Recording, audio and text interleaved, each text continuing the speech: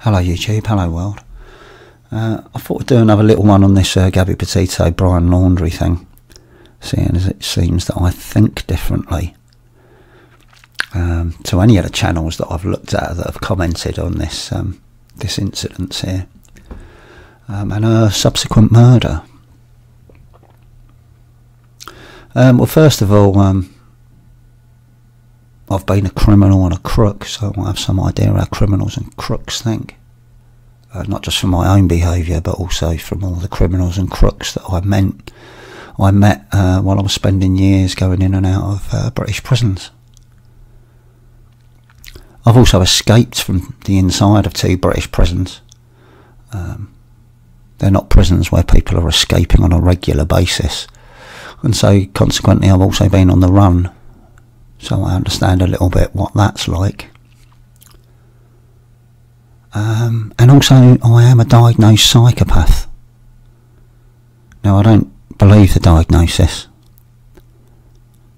I suspect you might. Um, because you believe in experts.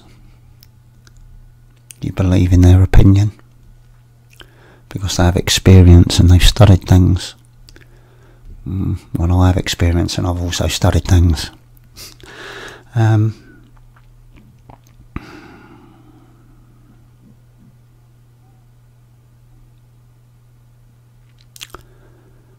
anyway, I guess if um, Brian Laundrie did murder Gabby Petito, then that would make him a bit of a psychopath.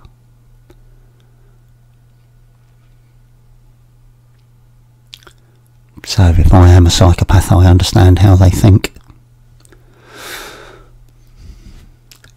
Anyway, let's have a little look. Grand County Sheriff's Office. Were you able to get a description of the intoxication? Hi, can you hear me, sir? Yeah, I can hear you.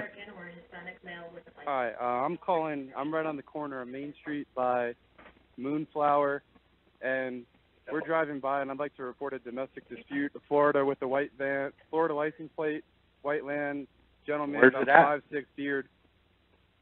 They just drove off. They're going down Main Street. They made a uh, a right onto Main Street from Moonflower. Or what were they doing? Cooperative, but um, what do you say? What were they doing? Uh, we drove by, and the gentleman was slapping the girl. He was slapping her? Yes, and then we stopped. They ran up and down the sidewalk. He proceeded to hit her, hopped in the car, and they drove off. Okay, you said it's a Um, white van? White van. I give you the. I give you the license plate if you give me one sec. I took Okay. a picture of it. What kind of white van? Like a big one? Um, it it was a smaller van with the license plate of. It was white, Florida license plate QFT G03.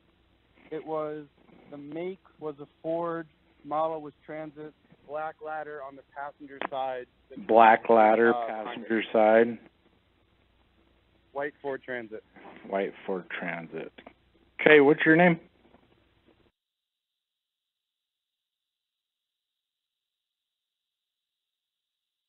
And where did they? So they turned. They headed south on Main Street from Moonflower Market. Correct. They made the right turn Also, they went north. North. Yeah, sorry, I'm not from around here. Okay, are you so you're right there by the post office? Right across the street. Yep. Okay, and and when they turned onto Main Street, they went right or left? Right. Right, so they went north. North on Main. All right, I will let somebody know. Thank you. Yeah, no worries. Bye. Thanks. Okay, so police received a call from an independent witness who saw an altercation between a man and a woman in the street um, and stated that the man was uh, slapping the woman around and then they both got into a van and drove off. Now the police had turned up, pulled over the van, separated the couple to question them. And it turns out that the man, Brian Laundrie, is the one with the injuries.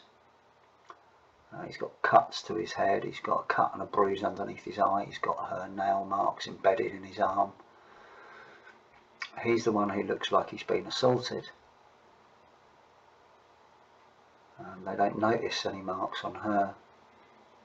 I don't notice any marks on her. Um, but she's asked if uh, he hit her, and she says no. He, he grabbed her face. Um, but she admits hitting him.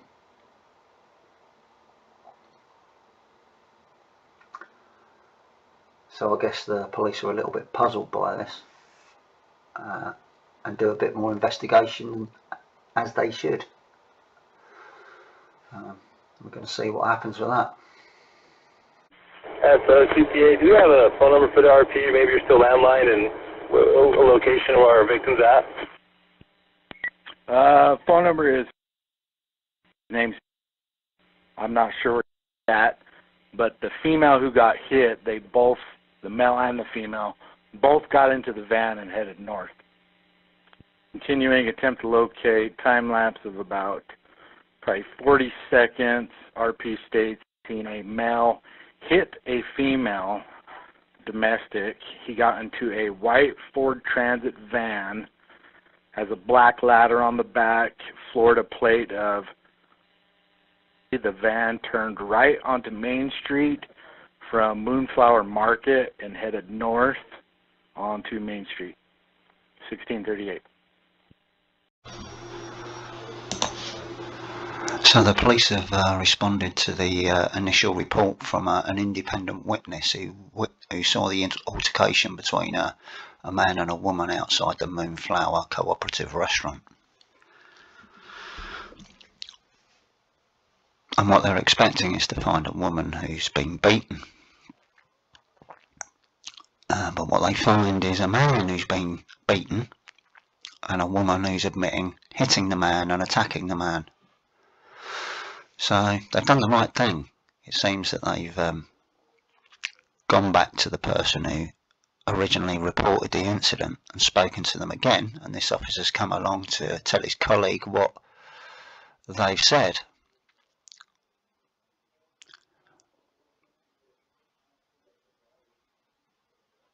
People make very bad witnesses in um,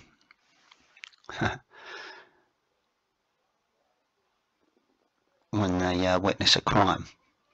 If you've got 50 people that witness a crime and you take evidence from those 50 people, you're going to get 50 different versions of what happened. You're going to get 50 different descriptions of the uh, the criminal. Um, anyway, when they speak to the um, the person who reported it originally, they're now doubting what they saw um, they've said that they saw the man push the woman. Um, and from certain angles, I guess that could look like somebody hitting a woman. Um, but they're not so sure. So um, anyway, what they conclude here is that Gabby Petito is the abuser and Brian Laundrie is the victim.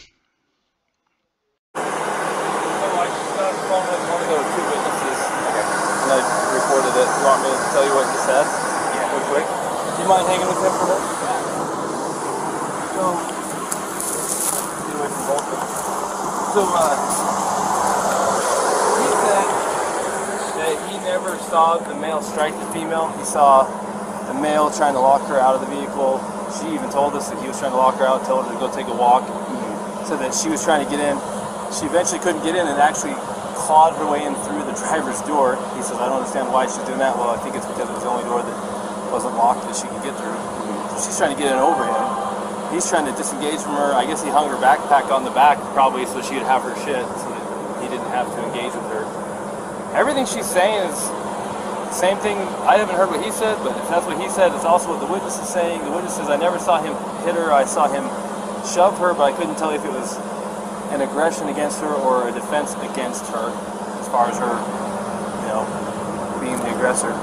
So at this point, from what, unless the guy's screaming that he needs to go to jail and did something to this girl, it sounds to me like she is the primary aggressor. Yeah. Now the problem with her being the primary aggressor is in an instance of domestic assault, be it a male or be it a female, we shall arrest. Now I quite like this officer. Uh, don't get me wrong on that at all. I quite like him. I think he's done a good job here. Uh, they've turned up and things aren't quite how they um, how they've been initially reported. That a woman's been slapped around. They've turned up and it actually looks like the woman's been slapping the man around and the woman admits that she's been hitting the man. So this officer now says the problem is, in case it's a domestic assault, being it a man or a woman, we shall arrest. The reason there's a problem is because they don't like arresting women for domestic assault. That's the problem.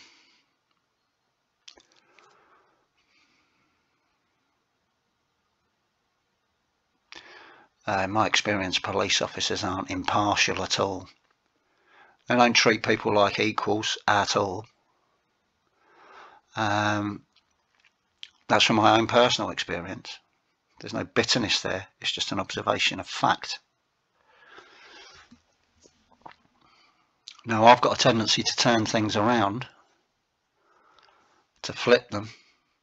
And in this instance, there would be no problem if they'd uh, turned up and the, uh, the woman, Gabby Petito, was the one that was marked up consistent with being slapped around. They would have arrested Brian Laundrie on the spot without a problem at all but I don't want to arrest a, a tiny little young lady so she has domestic violence on her record for the rest of her life.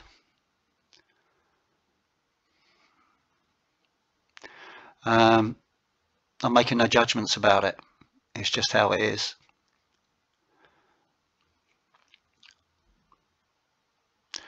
They really need to start treating things equally and as the same um, because the consequences of them not arresting Gabby Petito on this day may have led to her death. It's quite possible she may have attacked Brian Laundrie again. And he retaliated. However, I'm not like the rest of YouTube or the internet everybody has already convicted Brian Laundrie of the murder of Gabby Petito. When you read the comments in all the videos and you look at the videos themselves, Brian Laundrie must be guilty. He's already convicted. I very much doubt he could get a fair trial. Everyone seems to have convicted Brian Laundrie. I haven't. I don't know. It's all right not to know. Of course, um, the police also, I don't believe, have any evidence against Brian Laundrie. They don't have a scrap of evidence to implicate Brian Laundrie in Gabby Petito's homicide. Because if they did, the warrant out for his arrest would be an arrest warrant for murder.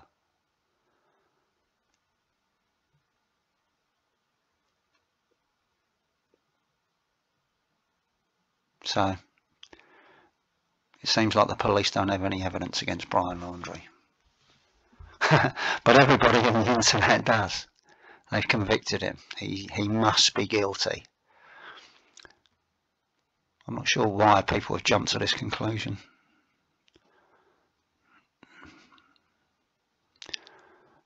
I don't know, maybe it makes for a perpetuating drama where they can make uh, content on it.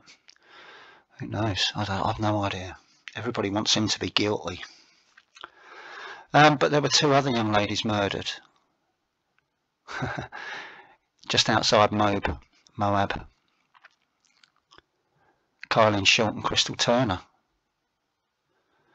Uh, Kylen Schulte, I've heard, worked at the the Moonflower Cooperative Restaurant as a cashier.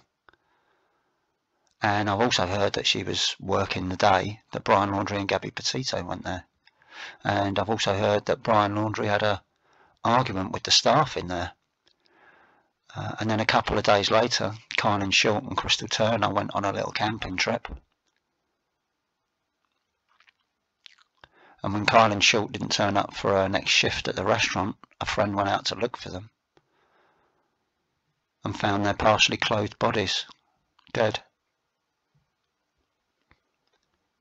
The police say this isn't connected. It's very coincidental though, isn't it?